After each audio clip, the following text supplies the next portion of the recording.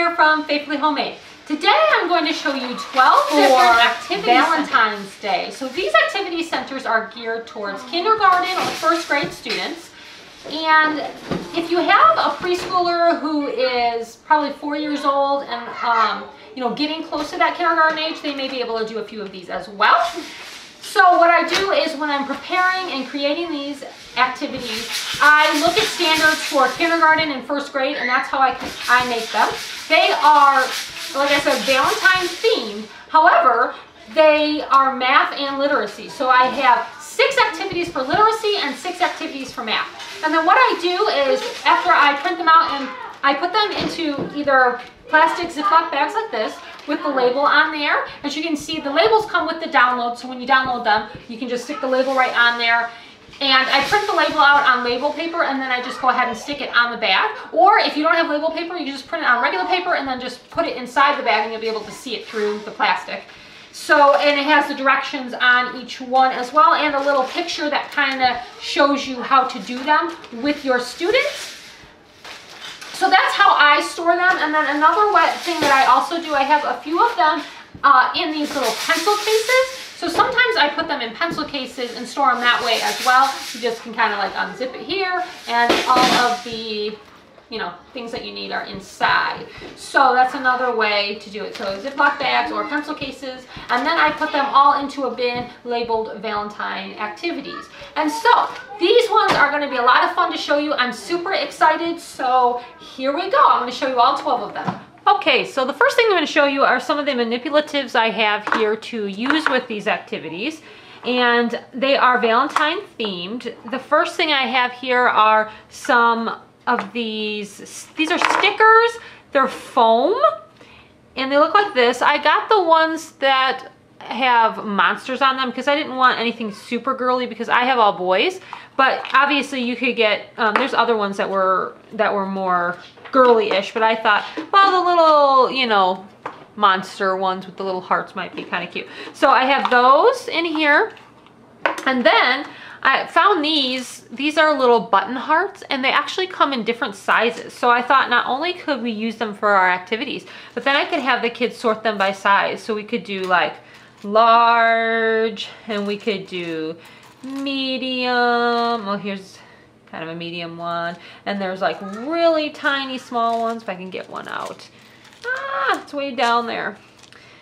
There's a teeny tiny one. I don't know if you can see it there. Teeny tiny heart. So there's just, you know, different sizes and we can have them sort them. And then I figure we could even sort them by color. Sorting is a great skill for little kids. Um, to it's a precursor to math obviously and that kind of thing and so well it's it's part of math and so once they can sort they can do more complicated things like patterning and stuff like that. So anyways, these were kind of fun. I thought these buttons were cute. Obviously, if you're working with a really small child, you'd want to take away the really, really tiny ones so that they don't put them in their mouth or anything. But okay, so then the other thing I have here as far as manipulatives go are these.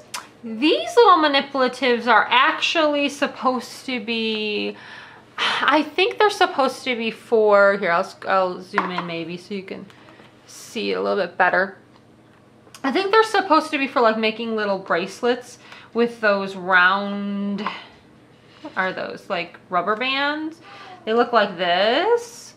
Um, but I thought that they would be good for little manipulatives. So they're, they're like a rubbery substance and they're just super cute. There's like some hearts and some bees and some ladybugs and things like that. So anyways, that is what I have as far as another good thing for manipulatives is if you can go get those candy hearts that they make at the you know grocery store those are a great one i don't have any but i'm planning on getting some those would be a good manipulative okay the first activity i'm going to show you here is valentine long vowel word flip. Okay, so it comes okay. with these long vowel word strips. I have a whole bunch of them. And what you're gonna do is you're gonna fold over the edge if you can see that, like so. I laminated mine. And then you're going, so you're gonna fold it over so the child cannot see the picture that's underneath. And then you're going to give them a clip. This is a clip that I have and I've attached the picture of the book with the heart on it. And the child is going to clip it on or you can clip it on before you hand them hand the child the word. So the child has to read the word, so they're going to read cake, and then when they take the clip off, they're going to see if they were correct. So they'll flip it over and they'll see a cake. They were correct, so they can go on to the next one. So here's one. Okay, the clip is on there. Pipe. I'm going to take it off, and I'm going to see that I'm correct. So there's just a whole bunch of them. They're all long vowel words. Now, since I did make them uh, laminated, I can also have the child take a uh, marker and mark the long vowel. So this is clue. So the first U would be long and the second vowel is silent. So the first vowel is long, second silent. That's how we would mark it. And then they could flip it up to see if they were correct. And they are correct. So they would close that one. So here I'm going to put a clip on this word when they read it. Whoop! It's for root. First vowel sets name, second vowel is silent, so we cross it out. Fruit, take the clip off, flip it over, and here we have some. Okay, now I'm going to show you a math activity. This is called spin and build a graph. So it comes with a spinner and it comes with a graph. And all you need is some type of manipulative. So I'm going to use these ones that I showed you earlier. And all they're going to do is they're going to spin. And whoever it lands on, if I have my spinner on there correctly, you can use a spinner like this that I purchased and add it to it, or you can just use a paper clip and a pencil. So they're going to spin, and whoever it lands on, so it landed on this girl, they're going to tape it manipulative and put it in her spot. And they're just going to keep on spinning, landed on her again. And as they spin, depending on who it lands on, it landed on this girl here, they're going to just keep on And as it, fills up, they're going to keep going until they can get all the way to the end of the, um, my spinner's not working very well. Anyways, I'll have to fix that. But they're gonna keep spinning until they get all the way, let's say um, I fill up a couple. My spinner's not working well, I'm gonna fix it. But they're gonna spin until they get all the way to the end. And let's say this girl gets all the way to the end. Then they have made a graph. So they're gonna see which one of these um, children here make it to the end of their graph and then they're going to look at it and you can ask them questions like well which which child has the most? Which child has the least? How many more does this child have than this child? and so on. And so then you can ask all sorts of graphing questions once they have filled it up. And then they can do it again. So you can take them all off and they can start spinning again and they're just going to spin and spin until one of these gets all the way to the end and they have a winner, I guess you could say. and they have built Okay, this next one is called Build a Shape Valentine. So it comes with a mat like this and it comes with cards. The only thing you need to add to it are some of these. These are, you know, like little pipe cleaners. I have red and pink ones here just because I wanted to make it match our theme. And what the children are gonna do is they're gonna take a card here I have, I'll show you the different cards. I have, you know, circle and triangle and rectangle. You can see that there. So they're going to pick a card. I have a circle right there. And they're going to take their um, pipe cleaner and they're going to make a circle. Now, uh, you can attach it by, you know, having them kind of wrap it around and then once they make their circle they're going to put it on their mat so now I have built my circle then the child can flip the card now they are on, and now triangle. I'm going to build a triangle. So the child has to figure out how to make three sides.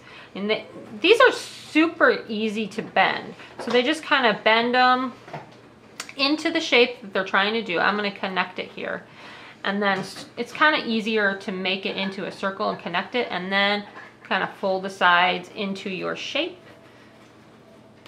And then they can make a triangle. So they're not only learning how to make the shape using their tactile, using their, their fingers, but then they're also learning the names of the shapes and so on. So here I have triangle, rectangle, pentagon, square, square hexagon, heart, and so on.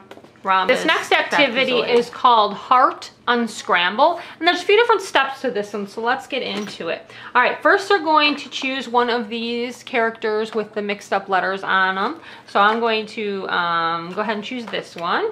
And then I'm going to, then the child is going to take the letters that are on here out of their hearts and put them in front of them. So I need a B and I need a U and I'm, oops, that one's upside down. Here's a U. And I also need a G. So then once I have that in front of me, the child is going to take these and move them around to try to make a word. So I know that my vowel is most likely going to be in the middle. So I'm going to put my vowel in the middle. So I have gub, or I can move them this way, and now I have bug. I made a word. So these letters make the word bug. Then the last step is to look through their hearts. I wouldn't give them all of them at once. I'd give them maybe three or four to choose from. They're to look through their hearts and they're going to find the word bug and they're going to put it down with it. So now I have completed that one and I can go on. So now I can get a new one. So now I have this one and I need the letters O-M-M. So I will go ahead and do the same exact thing. I'm gonna find O-M-M. I'm gonna move them around to make the word. It's the word mom, by the way. And then they're gonna look through their hearts and they're gonna go ahead and find the word mom. Next one is called positional so, word hearts. Now I am going to use a pocket, pocket chart for this one and what I would do is I would put this pocket chart up on the board and then they would be able to do this one standing up. However, you do not have to do this on a pocket chart. You can just do it right there on the table. What it is, is it has these cards here and you're doing positional words. So above, below, in front of, beside, between, and behind. So you would talk about those words and you would say the words and then the child would look at the cards and they would have to sort their cards. There's three cards for each one. So the way they sort them is they decide the position of the heart to the children. So they look at this card. What is the position of this heart to the child? it, it is behind the child. So they're going to put it with behind. Can you see that? Okay, and then um, a little bit of uh, glare. Sorry about that. And then uh, there you can see it then they will do the next one. So what is the position of the heart here to the children? It is between them. So you can see that there. And then um, this one is in front of, so it will go here. And this one is below the child, so it will go here. This one is next to, or beside, So that one would go there. And then this one is above. So it would go here. And then there's more cards and they can continue sorting them. We are on to another spot. math activity. This is animal heart measurement. So the child is going to be working on measurement. So there's a few different things here. You're going to get a ruler of hearts that looks like this. There are 10 hearts on this ruler. So they're going to be using this um, ruler to measure. And then you're going to get a mat that looks like this and then you're going to get a whole bunch of cards of different animals that look like this, okay? And then the last thing you're gonna get are these um, little number hearts right here. Okay, so here's what the child is going to do. The child is going to pick an animal. So I'm going to go ahead and pick this cute little lion right here and I put it down in front of me and then I'm going to take my heart ruler and um, remind the child that you don't want to have any spaces, so you line it right up to the edge, and then, here, I'll scoot it up for you can see. And then they're going to count how many hearts tall this animal is. One, two, three, four, five, six, seven. He is seven hearts tall. So then what they're going to do is they're going to look at their mat and they're going to find the lion and they have to find the heart with the number seven on it and lay it by the lion on top of the white heart that's by the lion. So he is finished. Now I can pick another one. So they'll pick another animal. They'll measure the next one. We'll see how tall that one is. And then they'll go ahead and find their number and put it next to it until all of the animals have been measured and their entire mat is covered. Okay, this one is called candy jar double consonant puzzles. And I laid out four of them here for you to see. So the children are going to be working on double consonants. FF, LL, ZZ, and SS. And they're going to try to match them up with the correct word. So this is a picture of a grill. And then I have grit here. So they have to match up LL with grill. And then they're going to match up fizz and mess and sniff. So that's an example of how they would do it. There's a whole handful more of these puzzles in here. So I would only give them a few at a time like I did here. Then if you want to extend the activity, another thing you can do is if you have a dry erase marker and you have laminated these, you could have the child write the letters on the line. So now that they matched it up, they can write grill or Another option is to go ahead and use your magnetic letters and have the child put the magnetic letters in the spot. So this is fizz. So I'm going to put my two Z's in the spot. So instead of using the um, marker, you could use the magnetic letters. So that's just a way to extend the activity. You don't have to okay, do that. This next activity is called Be Mine Short Vowels. And you get two game mat, uh, mats. So this one looks like this and this one looks like this. It's basically the same game. You just get two options so that you can play it multiple times and in different ways.